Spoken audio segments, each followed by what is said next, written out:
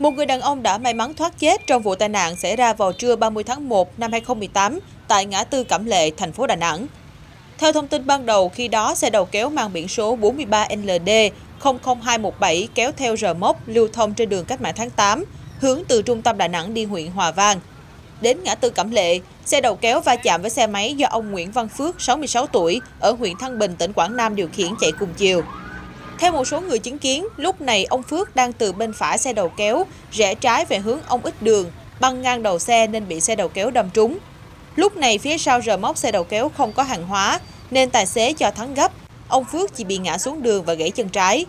Riêng xe máy bị cuốn vào gầm, biến dạng hoàn toàn. Sau tai nạn, tài xế điều khiển xe đầu kéo đã nhanh chóng rời khỏi hiện trường.